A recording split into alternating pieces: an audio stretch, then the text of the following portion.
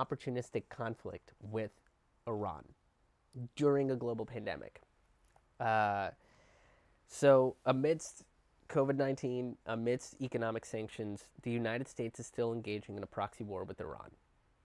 That is for fucking sure.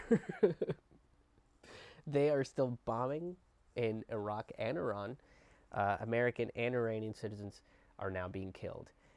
Um, and if there was any time that we needed proof that uh, America has a war economy that is fueled further by the debt economy, and that these two these two versions of the economy work in tandem with each other, that's it right there.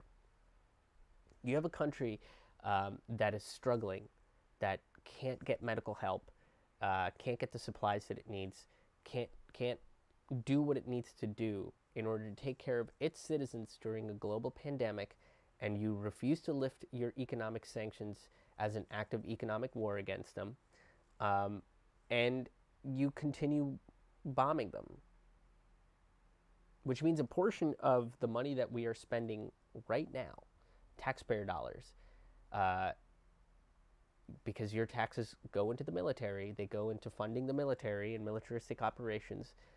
Um, they are being funded to bomb a country that's struggling to deal with a global pandemic because of our sanctions.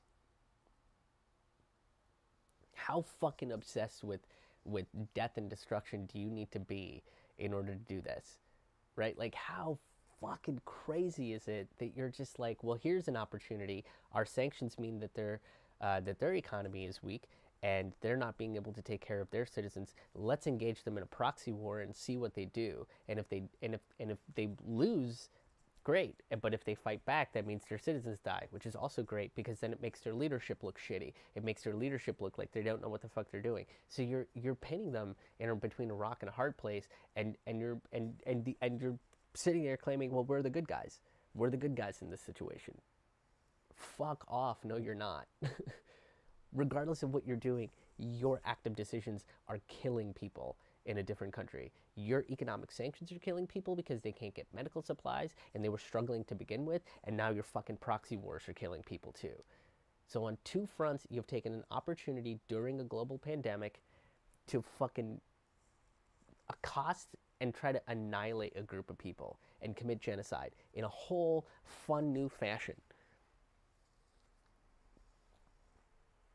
Militarism during a pandemic is uh, quite possibly the dumbest motherfucking idea that you could ever come up with.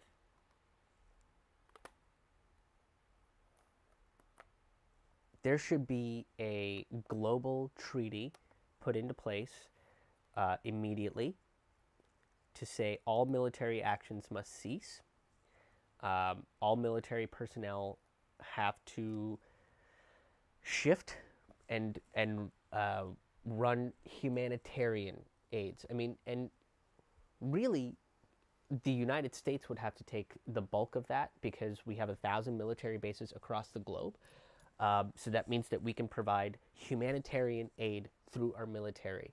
Um, humanitarian aid via the military. So shift the focus of the military from being a bunch of killers to being people that utilize skills uh, that they have learned through through learning these skills, you know, through military and stuff like that, through through the classes that they have to take, and actually being a force of good, and not a force of mutual destruction. That's what needs to happen with this military. The less it does, the more more all this is is a is is proof that we have a hyper obsessive American war economy and and with with working with this bullshit economic stimulus that they want to give us, it it just funnels into an American debt economy we are further in debt because we need to funnel, we need to prop up this, this war economy. To do what? Commit another fucking genocide in a country that doesn't need it during a global pandemic? To, to flex our nuts during a global pandemic? Nobody cares. Nobody fucking cares.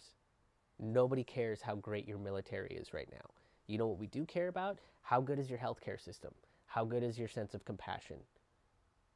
How, how good are you with, with planning and allocating resources properly? And based on what I've seen, uh, America is not so great. if we actually learned resource allocation as like a skill in school, people wouldn't be hoarding toilet paper.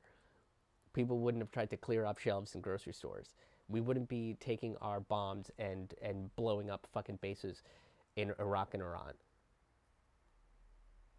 This, I mean, global pandemics should absolutely 100% mean a a a worldwide treaty, a worldwide ceasefire, all over the place. If you your war economy won't fucking matter if you don't have an economy to protect what freedoms do we have when we're all quarantined in our house? What are you trying to protect right now?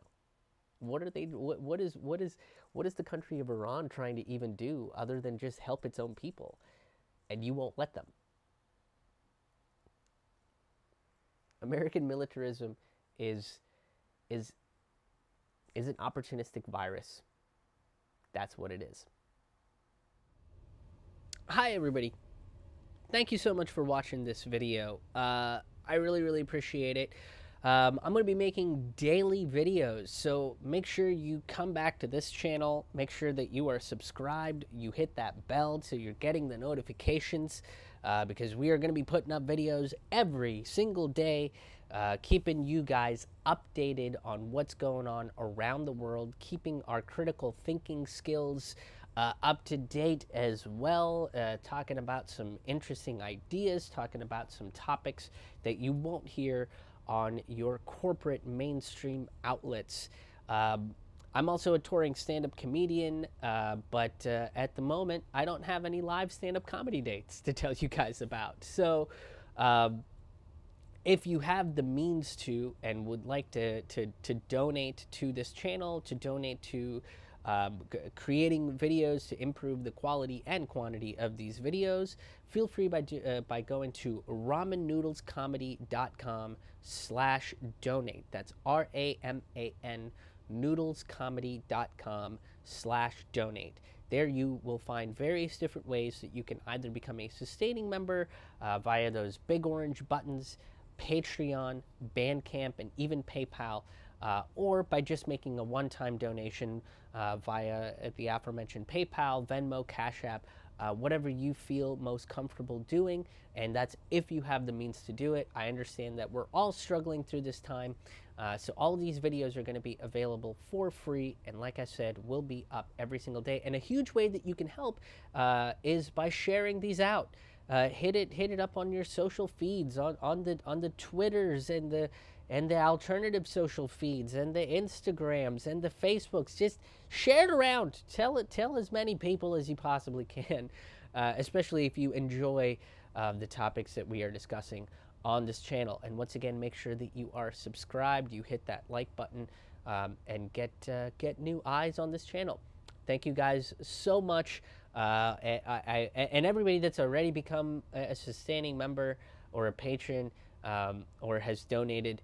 Um, thank you so much. It really, really means a lot, and it helps. Every little tiny bit helps in uh, in in in, the, in this time of of need. So uh, be good to each other.